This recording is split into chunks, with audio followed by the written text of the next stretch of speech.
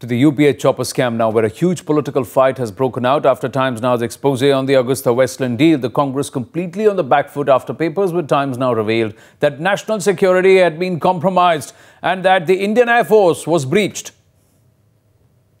The issue is that he told a lie, which all his party people are recycling that lie, that they had blacklisted Finmeccanica and that we had, uh, you know, withdrawn that. That's a blatant lie. I went through the Defense Ministry records which I have made public and I have made extracts of it and given it to the chairman, which clearly shows that the first time this matter was dealt with was by the, uh, the new BJP government on the 3rd of July of 2014 when they said that we are suspending all uh, actions of the uh, Ministry of Defense in making purchases from Finmec till the court decides the matter. Now, on that basis, they also said if there are some spare parts which are on the way or some which, uh, uh you know, some uh, uh, important parts of the helicopters are on the way, those we will not block. Only new purchases we will not allow.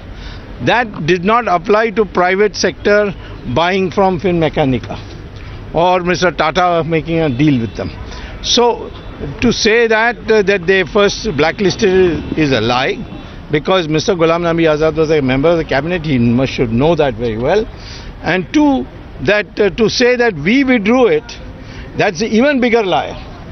So I want uh, either Mr. Ghulam Nabi Azad to apologize or uh, the, the breach of privilege committee Uh, passes a censure, some punishment on him.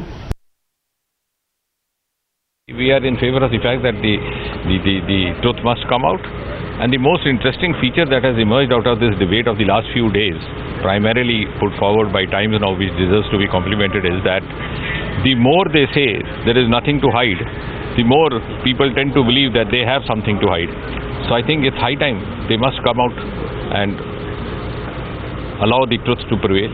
So, you know, also for the fact that you have been saying that there will be a debate and discussion over this issue, but are you getting that sense that probably there could be a debate uh, on this issue and, uh, you know, that all the facts and figures could be put out in the open probably in the first week of May? No, you must have noticed that time and again the government has been reiterating that we are ready for debate not only on this subject but any other subject, including the Agusta subject.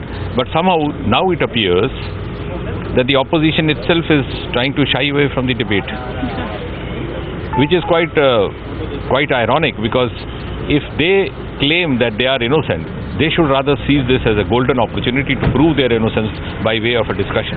So just my last question. The Congress party is accusing that it is a uh, it's an uh, attempt to defame the Congress leadership. In fact, we have shown financial scam, we have shown a breach of national security, we have seen the manner in which AgustaWestland had li literally furnished uh, false data to the MOD and it was not even verified. But the Congress saying that it's a, only an attempt to malign the image of Congress senior leadership. Malign the image by whom? Is this the Times now that is maligning their image? Is this the government that is maligning their image? Is this the parliament that is maligning their image? And if so, why don't they come forward and engage themselves in a free, frank discussion and vindicate themselves? I think it is they who should be asking for a discussion. My take is very simple. When their defense minister, Mr. Antony, publicly said in the parliament it is a case of corruption. Money has changed hands, bribe has been taken. What follow-up action was taken by them? Obviously, as I understand, the preliminary CBI inquiry was ordered on the 12th of February. And the next day, Christian Michel elopes. He was in India. It reminds me of Mr. Quattrocchi in the 90s, the middleman in the Bofors case. He also left the next day, there was a court order. हम भी लगे हैं लेकिन बार बार zero our में कल speaker उठाए तो speaker ने उनको अलाउ कर दिया तो ये ऐसा है चुनाव के वक्त कांग्रेस पार्टी को डिफेम करने के लिए हमारे कांग्रेस अध्यक्षा को डिफेम करने के लिए हमारे पार्टी को बदनाम करने के लिए ये सब साजिश चल रही है और इससे कोई फ़र्क पड़ने वाला नहीं है। दो साल हो गए अगर वो चाहते तो सीबीआई इंक्वायरी करके वो नहीं ला सकते थे। और सीबीआई इंक्वायरी चल रही आदमी भागता है और ये स्टेटमेंट देते हैं। तो ये जो सब है ये उनके हाथी के जैसा है। कहने का खा, दिखाने का दांत अलग है खाने के अलग है।